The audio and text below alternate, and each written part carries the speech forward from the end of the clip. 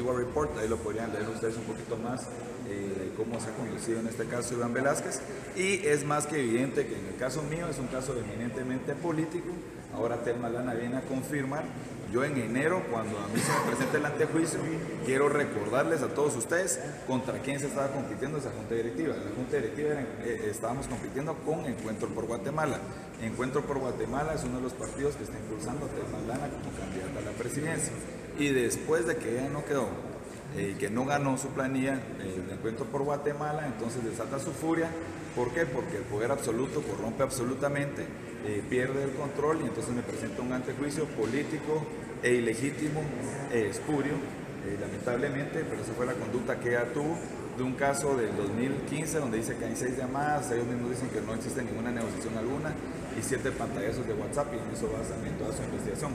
Qué raro que algo del 2015 haya hecho en el 2018 precisamente después eh, de la elección de Junta Directiva en donde no ganó su partido político. Y que en esos entonces, quiero recordar a todos guatemaltecos, que ella le estaba mintiendo a la población, diciéndole que ella no iba como candidata a la presidencia, lo dijo en múltiples oportunidades. No hay nada más asqueroso que haber utilizado el ente investigador del Ministerio Público y haberlo politizado de la manera como ella lo hizo para eliminar a sus rivales políticos. Eso es algo que es completamente repudiable. Ella estaba diciendo también de que yo no tuviera dinero para poder competir en una carrera presidencial. Pero resulta que hicieron en el hotel más lujoso del Salvador, ya lo confirmó el movimiento Semilla de que Tel Maldana fue quien los convocó ahí. Esa es una reunión que costó eh, miles de dólares. ¿Quién pagó eso? ¿Quién pagó eso?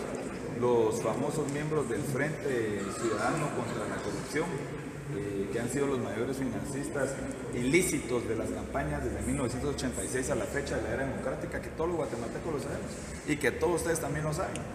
Entonces no podemos aquí hacernos los ignorantes de lo que está pasando aquí en nuestro país. Esto es algo que así es, así ha sido, se desenmascara, se quita la máscara, ahora ella es candidata a la presidencia. Pero está bien, que bueno, ya hemos visto la conducta que ella, ella no es pro vida, en este caso tampoco es por familia, guatemaltecos el 99.9% también eh, sí lo somos, entonces sacaron 3% como lo ha sacado eh, toda la izquierda realmente, pero lo que sí es repudiable, como reitero, es haber utilizado un ente investigador que debería de ser profesional, que debería de ser imparcial, que debería de trabajar para los guatemaltecos, no lo he utilizado. nunca persiguió el narcotráfico, nunca persiguió a las maras, se dedicó completamente hacia otros temas y tuvo todavía la audacia de recetarse cinco camionetas, tres de ellas blindadas, 28 guardaespaldas, además de los 28 guardaespaldas, con viáticos, con gasolina eh, ilimitada. Y en este caso, eh, en Guatemala mueren miles de niños por desnutrición crónica y más del 50% de la población vive con 2 dólares diarios. Es el máximo escala. También se recetó eh, en ese mismo acuerdo para Mayra Vélez, miembro de una red de pasaportes ilegales a quien he cubrido durante todo este tiempo, que tiene conocimiento también el Departamento de Estado y otras entidades de Estados Unidos, porque muchos de esos pasaportes que se dieron falsos, esta gente fue a parar en Estados Unidos.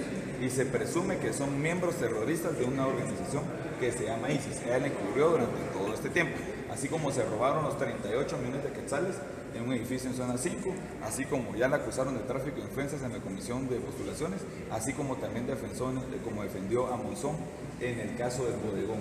Y se empieza a caer toda esta tela, así como se sabe en dónde se eligió a ella como fiscal, fue nombrada jueza de la impunidad por la CICIC, fue electa en el último nivel de un edificio de la zona 10, en donde estaba presente el crimen organizado, el narcotráfico y la mafia de este país, y fue electa por la vieja política, es la máxima representante de la Como reitero, yo no voy a mediatizar están acostumbrados a hacer, buscando una condena mediática, eh, un show político, que ahora vimos que todos estos shows políticos violando la presunción de inocencia, que es un derecho constitucional y sagrado que tenemos todos los guatemaltecos. Ahora ya sabemos para qué servían estos grandes shows, para hacerse publicidad.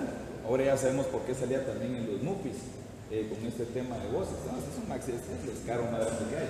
Ahora que yo no pueda, eh, que yo no voy a mediatizar, como le repito, en mi caso, como lo están acostumbrando a hacer, yo no voy a prestarme a ese juego. Diputado. Yo voy a utilizar en este caso, eh, como les he comentado todas las herramientas legales que están a mi disposición y que me ampara la ley de la Constitución.